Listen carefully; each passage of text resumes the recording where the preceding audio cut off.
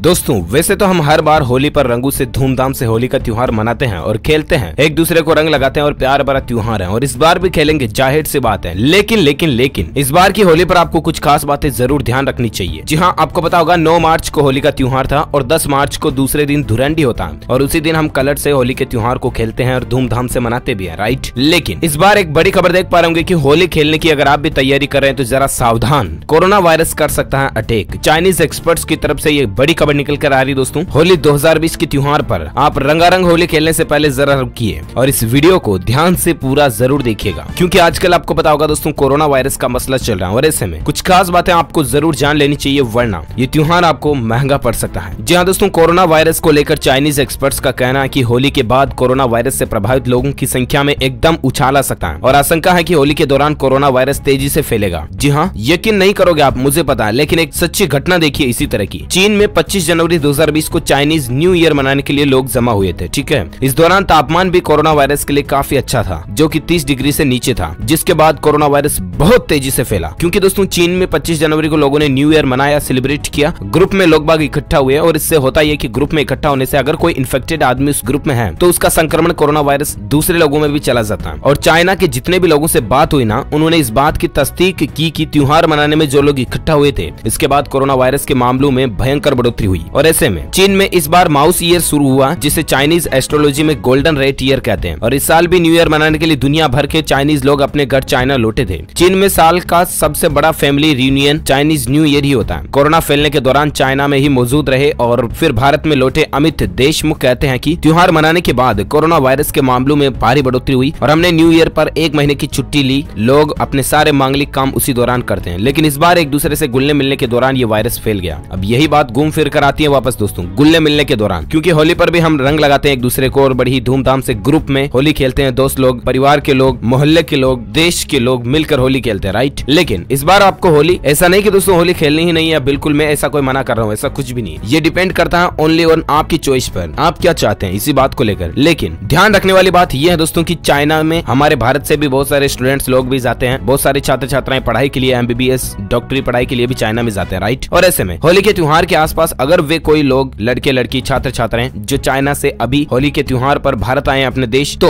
आपको ध्यान रखने वाली बात है कि उन लोगों के साथ आप होली ना ही खेले तो ज़्यादा बेहतर है। पहली बात तो ये। दूसरी बात ये कि जिन लोगों को आप जानते हो, जिन पर आपको डाउट है कि इन लोगों को कोरोना इन्फेक्शन हो सकता है या जो लोग काफ़ी लंबे समय से सर्दी, जुकाम, गले की खराबी, सांस में तकलीफ़ इस तरह की समस्याओं से चल रहे हैं, आपके आसपास मोहल्ले में किसी भी इस तरह के लोग को जानते हैं जिसे लंबे समय से जुकाम लगा हुआ तो उन लोगों के साथ भी आप होली ना खेलें तो ज़्यादा बेहतर है। क्योंकि दोस्तों, ग्रुप में पास पास में आकर होली खेलने से रंगों के द्वारा भी संक्रमण का इन्फेक्शन हो सकता है वायरस का इन्फेक्शन हो सकता है और इससे वायरस एक व्यक्ति से दूसरे व्यक्ति में ट्रांसफ़र हो सकता है और इससे कोरोना के मामले बढ़ सकते हैं। इसलिए मैं आपको पहले से अलर्ट कर रहा हूँ, बाकी आप होली खेलिएगा, लेकिन जरा सावधानी से जैसे मैंने आपको बताया। और उसमें भी दोस्तों, अगर आप मास्क का यूज़ करते हैं तो बहुत ज़्यादा बेहतर रहेगा ये मास्क पहनिएगा। इसके अलावा घर पर आते ही वापस स्नान, ध्यान, नहा लीजिए, अच्छे से फेस वॉश हैंड वॉश कीजिए। और इसके अलावा ध्यान रखिएगा दोस्तों केमिकल के रंगों से होली ना खेलें आप, बिल्कुल जो जल रंग आते हैं, सूखे, उनसे खेलें, ताकि आपकी स्किन को त्वचा को भी नुकसान नहीं हो और क्योंकि केमिकल वाले कलर जो होते हैं, वो बहुत दिनों तक हटते ही नहीं है। फिर शरीर से त्वचा को नुकसान होता है उससे, ठीक है? तो इन कुछ छोटी छोटी बातों का ध्यान रखें आप। और बाकी आप सभी भाइयों, बहनों, दोस्तों, मित्रों को, समस्त देशवासियों को, समस्त भारतीय नागरिकों को तह दिल से होली की हार्दिक शुभकामनाएँ। होली से आपके जीवन में मंगलमय काम प्रारंभ हो। आपकी हर एक मनोकामनाएँ पूरी हो। हम भी यही चाहेंगे। दिल से इस वीडियो को लाइक करना शेयर भी करना अपने दोस्तों के साथ फेसबुक और व्हाट्सएप पर, ताकि ये महत्वपूर्ण जानकारी उन तक भी पहुँच जाए। शेयर करना आपकी ज़िम्मेदारी है। वीडियो बना करके आप तक पहुंचाना मेरी ज़िम्मेदारी और आप अपने दोस्तों तक पहुंचाओगे। ये आपकी ज़िम्मेदारी। मैं पर्सनली आपको दे रहा हूँ, क्योंकि आप एक अच्छे समझदार आदमी हो राइट डीएलएस भाई के दोस्त होने के नाते वीडियो को शेयर करना और दिल से लाइक करना। अगर आप डीएलएस न्यूज़ पर पहली बार आए तो चैनल को सब्सक्राइब करके बेल आइकन ज़रूर दबा देना, ताकि आप और हम आपस में जुड़े रहेंगे और रोज़ाना एक दूसरे के साथ काम की खबरें शेयर कर पाएँगे। वैसे आप हमें नीचे कमेंट करके ज़रूर बताएगा दोस्तों कि आप कौन से राज्य में होली खेलने जा रहे हैं। कौन से राज्य में रहते हैं, किस राज्य में होली खेलेंगे, आप कमेंट में बताइएगा, हम भी जानना चाहेंगे। मिलेंगे अगले नेक्स्ट ब्रेकिंग न्यूज़ अपडेट के वीडियो में, तब तक के लिए जय हिंद, जय Bharat, Vande Mataram. Thank you take care and